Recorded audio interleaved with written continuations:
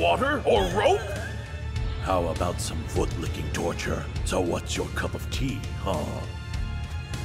It all sounds so perverted. And would you stop with the whole ridiculous bowing to nobody thing? It's creepy! I would go with foot-licking stuff if I were you.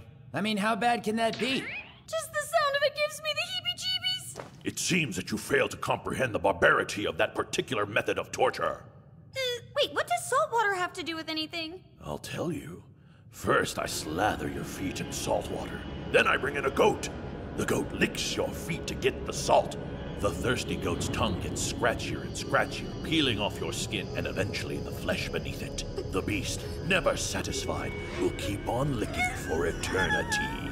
That is some freaky, messed up stuff! You mean that poor goat has to lick her nasty feet forever?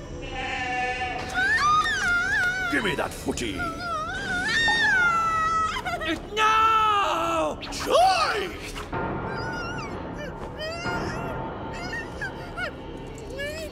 Now you had better get real chatty, kid. Or she's gonna be walking on stumps. You bastard, I told you everything I know! So listen!